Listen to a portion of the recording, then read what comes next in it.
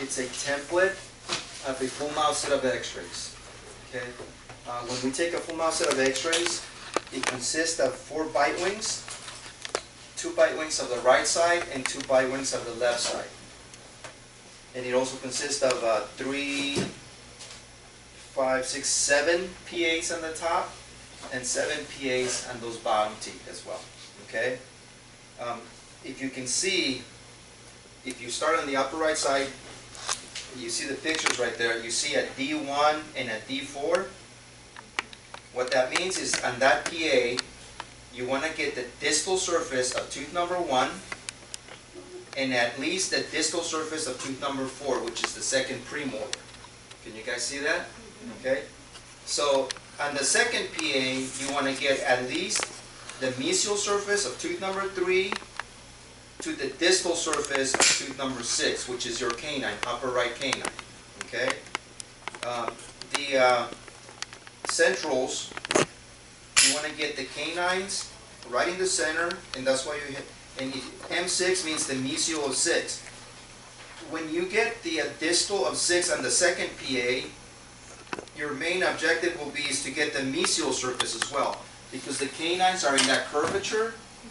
The way you place the, the, the cone, you're gonna, when you take the, uh, the, the second PA, you're gonna get the distal surface, but we also wanna get the mesial surface, so make sure when you're placing the cone, when you're taking the third PA from the, from the, from the right here, uh, you wanna get, position it where you're gonna get the mesial surface of the canine, which is tooth number six, and when you're doing it on the other side, you want the, the mesial surface of tooth number eleven, okay? Uh, the, the middle PA, you wanna get those two centrals right in the center. Again, the PA of the canine on the upper left side, you want, you wanna get the mesial surface of tooth number eleven. Uh, the first PA you take on the left side, you wanna get at least the distal surface of tooth number eleven and the mesial surface of tooth number fourteen, which is your first molar, okay? The last PA that you, um, that you're gonna, um, take on the upper right side, you wanna get the distal surface of tooth number thirteen to the distal surface of tooth number sixteen, which is the last molar, okay? So it's like the ones you're kind of splitting them, certain ones. Yes. Okay, and um, when you take the bite wings, you want to get the distal surface of the canines, whether it's the upper or the lower. Uh, you want to get the distal surface of the canines, and obviously just the mesial surface. For example, the one on the right side, you want to get the mesial surface of tooth number three, and the mesial surface of tooth number thirty on the lower. Okay, when you take the second, uh, the uh, the second uh, um, bite wing, you want to get the distal surface of tooth number four to the distal surface of the tooth number one. That's what those D's and M stands for, distal and mesial.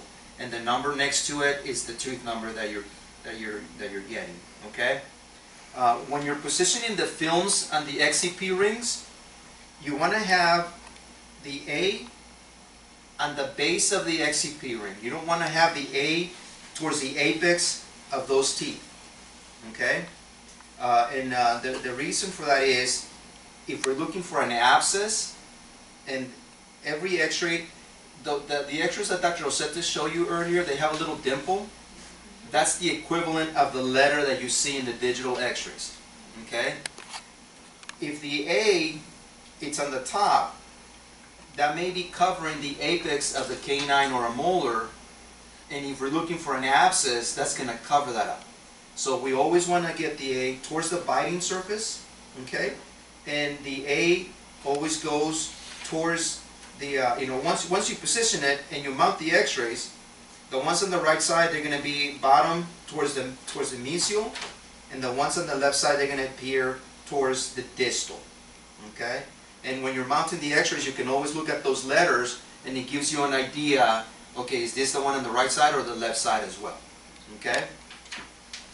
when you're mounting the, uh, the x-rays on the um, XCP ring for the bite wings, you always want the A towards the outside, towards the mesial, or towards the metal of the XCP ring, okay?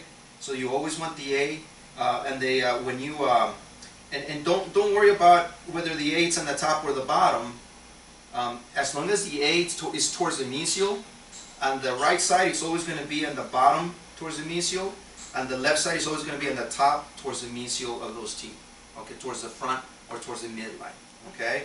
Because it's a bite wing there, the A isn't gonna obstruct anything we need to see, like it would on a PA. So it, on the right side, if you flip it, it doesn't matter. Yeah, it doesn't matter whether it's on the top or the bottom, as long as it's towards the outside, okay? The A is not supposed to be towards the distal. It's always towards the front, you know, teeth, okay? Uh, same thing going on with the lower PAs. Uh, you want the A towards the biting surface, okay? And when you place the A towards the biting surface, that is the biting surface of the XCP ring. Because the biting surface of the XCP ring is always gonna be on that surface, obviously of the, on the, on the biting surface of the upper teeth, and on the biting surface of the lower teeth, okay? So, and Dr. Rosette will show you where's the biting surface on that XCP ring once you get to, uh, uh, to his, um, to the lab. Alright, so you guys get those numbers, what the numbers that we have there?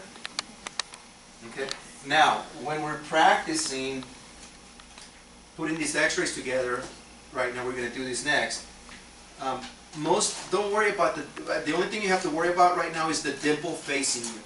Some of the uh, previous assistants did not use this technique right here, so the dimple sometimes is on the, on the, towards the apex of some teeth or sometimes in the right spot, okay?